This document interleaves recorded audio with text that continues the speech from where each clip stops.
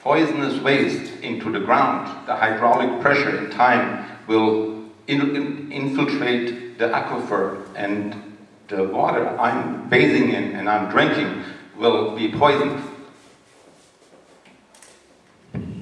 Can everybody hear me okay? Yeah. So I, I, I did take a, a, look at um, where the waste is coming from currently, and, and it's actually kind of interesting.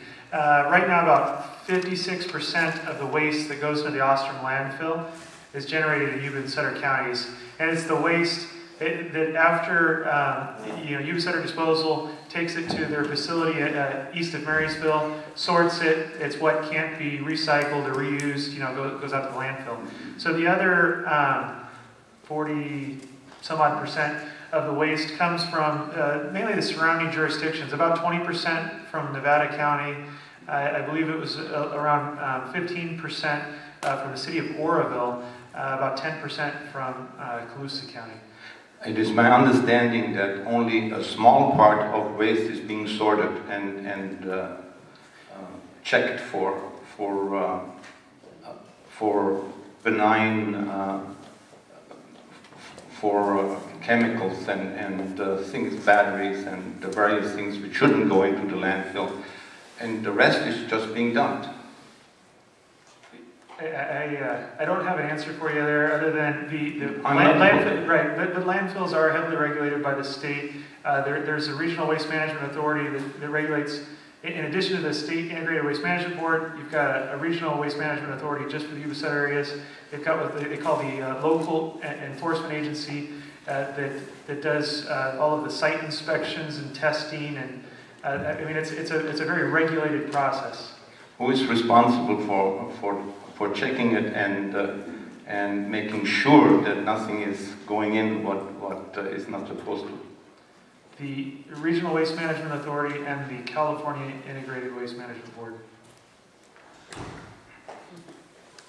Well, is um, I'm very familiar with human nature and uh, the way we operate. We throw things the way we shouldn't, and we are very lax on when it comes to the environment and uh, to, in my view, to create a mega dump in Yuba County is a nothing but a negative, simply because of the liabilities which are come, come with, it, with it. And pollution is my, my major concern. The traffic, well, once you implement it, then you'll be all stuck with, with the traffic jams and, and uh, um, the problems coming with it. But there was one more concern I have, is in this, there is there's, there are some people out there, they advocating shipping waste from from San Francisco into the area by railroad cars, and then turn around and fill those those those those cart up with gravel and ship the gravel out of the county. to, to me, when you mix garbage and gravel, you're cre creating a health hazard. Unless you meticulously uh, cleanse the, the, the, the railroad uh, cars to the point where not a virus or uh, anything that shouldn't be on it, in it, um, can become contact with gravel because gravel then comes again in contact with humanity, right? So what is this, this idea about shipping garbage in railroad uh, cars and then bringing, it, bringing those very same cars back with, with gravel? What, which, which kind of a, a crazy idea is this? How can anybody in his right mind think something like that up? I, I actually, I, I, think it is just somebody's idea. There, there's no application from the county to do that, that type of process and, and, I, and, it sounds more, more kind of like a rumor. I think people have put together the fact that aggregate companies in Yuba County are interested in marketing their aggregate outside of the county by rail. And you have uh, Yuba, not Yuba Sutter Disposal, now they're called uh, Recology. Uh, Recology interested in railing garbage in. And, and uh, it sounds like maybe people have on their own put those two together, but they're, they're two distinct items. This has been mentioned in the, in city council meeting in front of uh, a couple hundred people.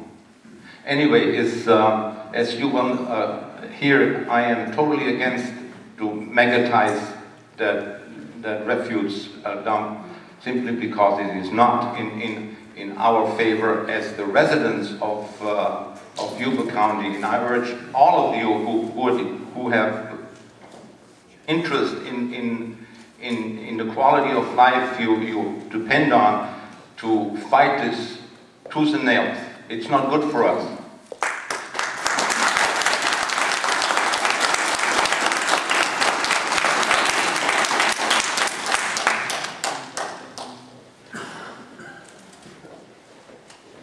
Ms. Ravi? Terry O'Brien from Camp Far West area. Some time ago, I heard that the Air Force was very interested in the height of the plume, if you want to call it that, at the dumps because it was in line with the, air, with the runway. What does the Air Force have to say about this proposed plan? Well, as I understand it, and I'm sure Kevin can speak to it more, but as I understand it, uh, the distance that the dump is located from where the air, from where the runway is, uh, if you draw out a line, apparently it's- it becomes a problem when it's at 300 feet. It's gonna be three hundred. Well, the complaint that I heard was, I think, a couple of years ago, so But- Well, what, as I understand, the, the permit as it's currently in existence with the amendments, uh, the maximum height of the, of the garbage or the landfill is supposed to be two hundred and sixty-five feet. Uh, so they've withdrawn their complaint? Well, I believe that when, and Kevin, you correct if I'm wrong, but I believe when that amendment was approved back in two thousand, uh, there were comments taken or, uh, the inputs from the base were asked for and and received. uh, And I'm assuming that the board considered all that when, when all that was amended, but, uh, if there's more to that, that you can add, I appreciate that. Yeah, I just want to make sure it- it's clear, because that's why I wanted to put it on that yellow sheet that I handed out to folks, is that this, this amendment that's being requested by Recology, formerly Sutter Disposal, is not to alter the height, shape, or any, of the landfill from what's already permitted, uh, what the Board of Supervisors approved in 2000. This is just uh, whether or not that the, the, will the county allow them to bring in waste by rail cars versus solely by truck?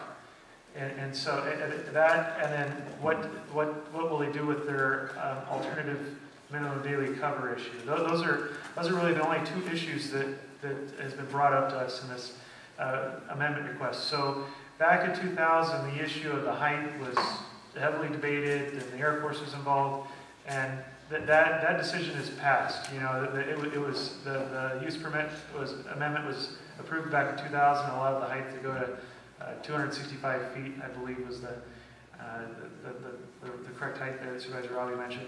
And, I mean, so that, that, that, ship sailed, and so I just, I, I don't wanna, wait, the county does not advocate one way or the other when processing an application. We, we simply take it in, we, we, um, weigh the environmental effects through the CEQA process. We present this, the information to the planning commission.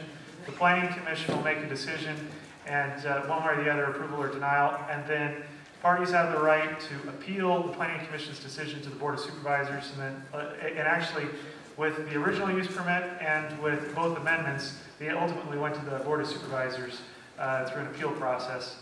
Uh, And the board of supervisors ultimately, you know, decided what to do. I guess one nice thing is the people of the Camp Far West area will have a new buttes to look at. Thank you. Should be in your backyard, we can see it real close. Benjamin Bartholomew, my uh, question is for Mr. Mallen. Um, I actually have three questions, and I know you might not have the answers for these questions as we're just at the application process, as you, as you stated, but um, if we know the answers to these questions, that'd be great, and if not, I, I hope they'd be asked.